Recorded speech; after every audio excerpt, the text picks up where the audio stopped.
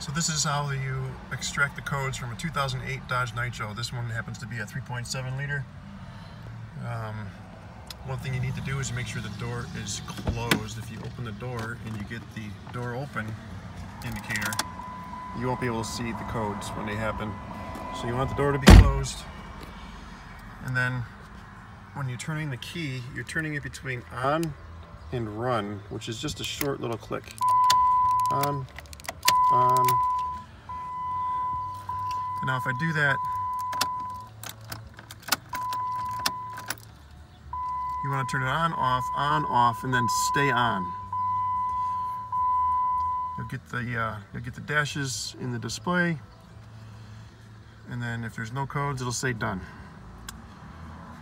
And uh,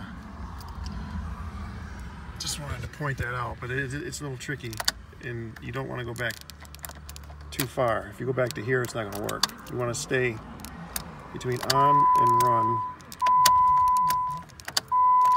And the last time, you want to keep it on.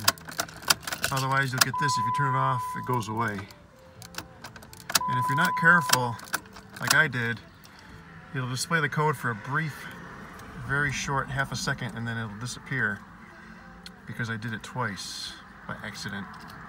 Um, not sure if it's supposed to do that or if I accidentally wiped it out, but um, just remember on, off, on, off, and stay on.